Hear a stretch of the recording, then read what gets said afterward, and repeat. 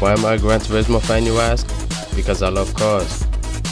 Ever since I was a little kid, I grew into cars as I got older. I knew almost every car's make and model as a young kid, and I thank my father for introducing me to cars.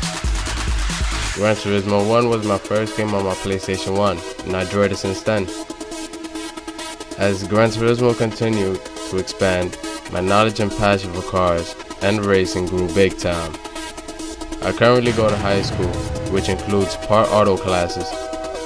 I am expecting to come out knowing a lot when I graduate. One reason why, one major reason why I got a PS3 was because of Gran Turismo for their future release of Gran Turismo 5. I know I'll be on it all day. One said, just being a mediocre driver has never been my ambition.